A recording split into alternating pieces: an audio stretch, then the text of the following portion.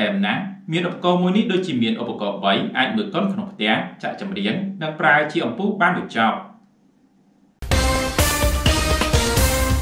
នេះគឺជាឧបករណ៍សម្រាប់ផ្ទះឆ្លាតវៃដែលមានវាមួយជំនួសឲ្យរបស់3ឯណោះដែលវាដើរតួជា DLP projector ជាម៉ាស៊ីនបញ្ចាំងខ្នាតតូចដើរតួជាអំពូលនៅក្នុងផ្ទះនិងវាក៏ជា Bluetooth speaker មានគុណភាពខ្ពស់ប្រើប្រព័ន្ធសំឡេងរបស់ក្រុមហ៊ុនល្បី Harman Kardon ថែមទៀតផង ឧបករណ៍ដ៏ទំនើបនេះមានឈ្មោះថា Egimi Magic Lamp ផលិតដោយក្រុមហ៊ុន Xiaomi សម្រាប់អ្នកចូលចិត្តទស្សនាភាពយន្តបើកសំឡេងឮខ្លាំងៗអីឃើញឧបករណ៍នេះដឹងតែជាប់ចិត្តជាក់ជាមិនខានបច្ចុប្បន្ន Egimi Magic Lamp ទើបតែដាក់លក់នៅក្នុងប្រទេសចិនតែប៉ុណ្ណោះដែលមានតម្លៃប្រមាណ1170ដុល្លារអាមេរិក